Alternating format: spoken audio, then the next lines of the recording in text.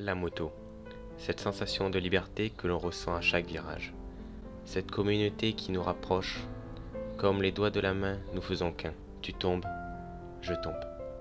Cette communauté est la plus merveilleuse selon moi.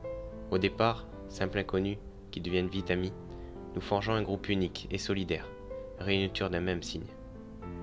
Tous les motards de toutes les cylindrées sont confrontés aux aléas de la route, au mépris des autres usagers. 88% des accidents graves sont causés par une erreur humaine. 37% sont des erreurs de motards. Le port de l'équipement est donc très important pour espérer survivre lorsque notre bonne étoile n'est plus là. 7 motards sur 10 avouent avoir déjà chuté. 50% d'entre eux ont été blessés. À moto, nous sommes vulnérables. Nous représentons 2% du trafic, mais 32% des hospitalisations. Ce qui est considérable selon moi. L'équipement n'est pas une option. C'est notre seconde peau. Je vais vous donner quelques chiffres. Un casque bien attaché et homologué réduit de 300% le risque de liaison cérébrale. Cependant, encore 11% des motards avouent ne pas toujours le mettre. 37% des motards de gros cylindrés et 66% des utilisateurs de scooters avouent ne pas s'équiper toujours. En été, c'est pire. En règle générale, 57% roulent en t-shirt, 47% en pantalon ouvert, 31% en chaussures d'été. Lors d'un choc frontal, les membres qui subissent le plus sont les testicules. Il en découle plusieurs complications, comme l'infertilité, l'ablation, la castration. Il y a également la tête, risque de traumatisme, le thorax, le bassin et des fractures du pied. Lors d'un choc latéral, des lésions peuvent apparaître sur les membres percutés. Il en découle parfois à l'imputation.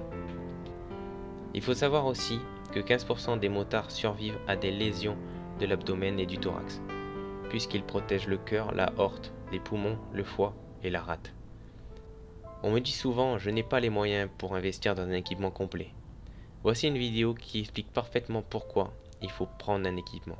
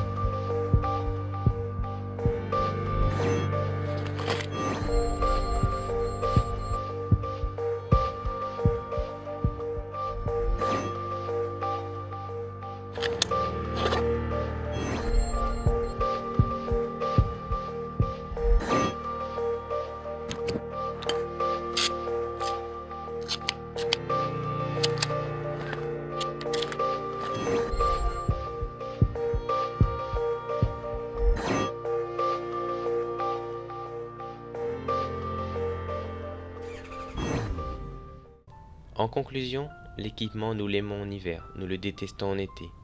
Mais il reste notre meilleur ami, notre meilleur allié pour nous défendre contre les dangers imprévisibles de la route.